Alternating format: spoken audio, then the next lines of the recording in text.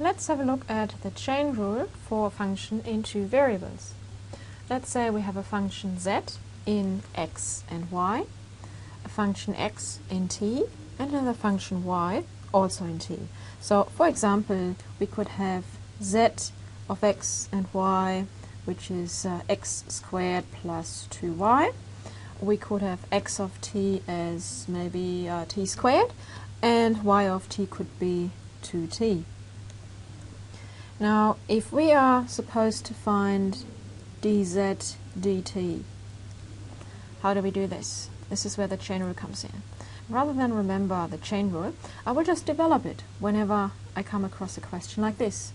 So, first of all, I will write down z up here. I will use a tree diagram to visualize this.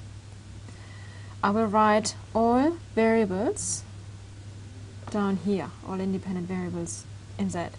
So that's x and y. And I will draw an arrow to them. And x is in t, so I'm going to write t down here.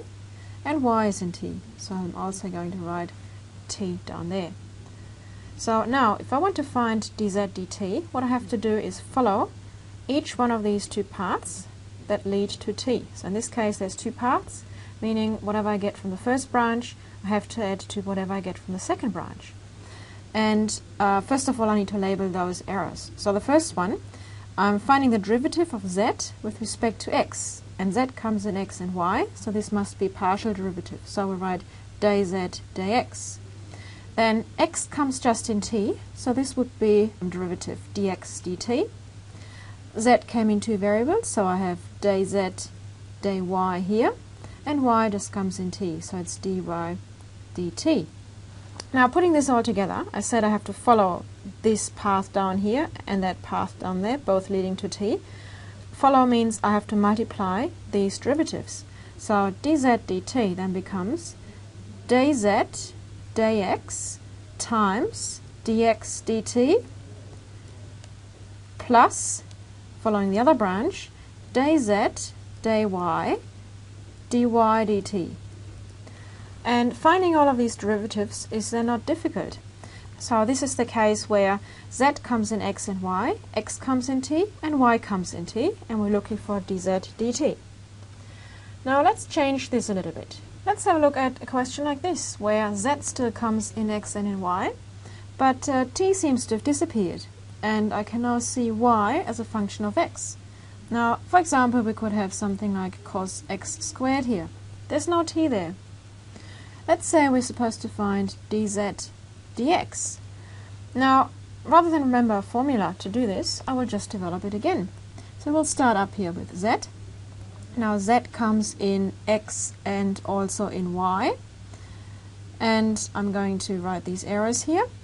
But y also comes in x, so I'm going to write this arrow here. And this means I now have two paths to go from z to x. Remember, I want dz dx, so I need to go from z to x this way, but also that way. And have to um, multiply uh, along the path and then add up the result. Now, from z to x, this is actually dz dx because z comes in x and in y. From z to y is dz dy, and from y to x, we simply have dy dx. Now, putting this all together, we will get that dz dx is the first branch, dz dx, plus the second branch, which is dz dy times dy dx. And finding all these derivatives is also straightforward. Let's have a look at another example. Now let's have a look at a function z in x and t. And let's say x also comes in t. So for instance, we could have z of xt is 3x minus t squared and we could have x of t as 2t. Or alternatively, it doesn't even have to be like this. It could also be implicitly stated like uh, t squared plus x squared is equal to tx. Now, to find dz dt, I will once again draw the diagram. I've got z, I've got x, and I've got t. Now x also comes in t, so I will draw it like this. And as you can see, we now have two paths to get to t. So dz dt will be dz dt plus dz dx times, this is just dx dt. So dx dt. And that's it. Now, in the particular example I've given, if x of t is equal to 2t, this is straightforward. Because what we need to find here is the derivative of x with respect to t. But if it's given in this implicit form, and there's no easy way of solving it for x, we might have to do something different and that something is to find the implicit derivative of both sides of this equation which will then contain dx dt. We will solve for dx dt and that will then be put in here in this equation. Now let's have a look at one more example. z is a function in x and y, x is a function in r and theta, and so is y.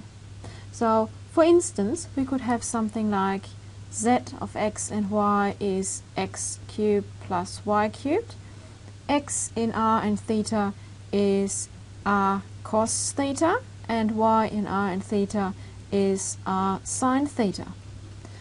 Now, if we want to find day z, day r, and day z, day theta, we draw the tree diagram once again, starting with z z comes in x and in y, and x comes in r and in theta, and y comes in r and in theta. So you can see we're listing all variables where they belong. Now to go from z to r, I have two paths. I can go down this way and I can go down that way, and that's what we have to do here. So first of all, let's start here z has x and y as variables, so this is a partial derivative, day z dx. X has r and theta as variables, so this is also a partial derivative, day x, day r. Now let me just quickly label all the others before we apply the chain rule. Uh, from x to theta would be day x, day theta. From z to y is day z, day y from y to r is day y, day r, and from y to theta is day y, day theta. Now putting this together, as I said before, we want to go from z to r, that's these two paths here, this one and that one. We multiply again, so we get day z, day x, times day x, day r, that's the first path, and the second one is from z, y, y to r. So we get plus day z, day y, day y, day r, And this is the rule we have to use. Now let's look at the other one. Let's look at day z, day theta. And of course we start with z and we have to go down to theta. And there's two ways of getting there. So for day z, day theta is then day z, day x times day x, day theta. So day z, day x times day x, day theta, plus this path here, day z, day y, day y, day theta. So day z, day y, day y, day theta. And as you can see, I don't actually have to remember any of these formula as long as I can remember um, how to put it all together. I'm writing down all the variables where they belong, and the arrows show which variables belong together. And then I simply follow the right paths and I multiply along the paths and add the paths to find the particular type of chain rule that I'm after.